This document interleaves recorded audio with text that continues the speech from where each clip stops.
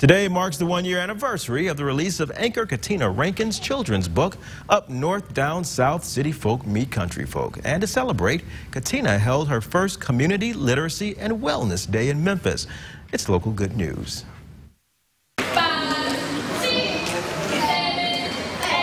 It was a birthday party fit for a prince or princess with lots of twirls and curls.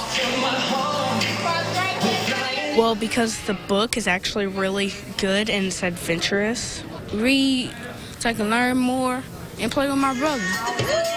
The kiddos even learned how to make reading and homework assignments fun by using music and their computers.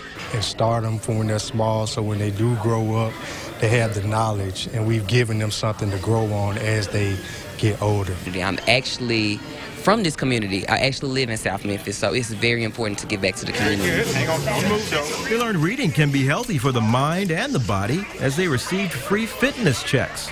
It gives me great pleasure to be here, and I hope the kids take away something that will last with them for the rest of their lives. And of course, anchor Katina Rankin read her book to the children.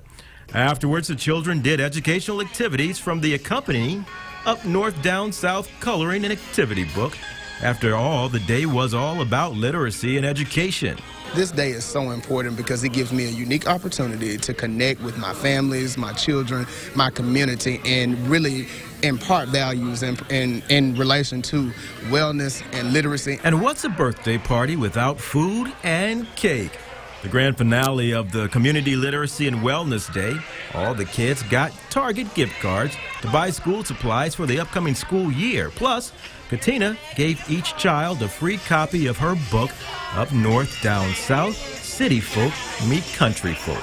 Principal Ingram, God gave me a vision to give back to the community on the one year anniversary of my book. And that's Did you have a good time? Local Good News.